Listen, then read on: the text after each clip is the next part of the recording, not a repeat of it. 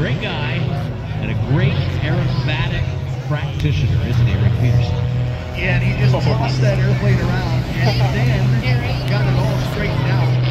For a second, now he's sliding backwards. He has to get turned around, and now he has to get the wings connected again. So now he's just back. There we go. And right about now, he's got it all under control, and he measures it right on the numbers as he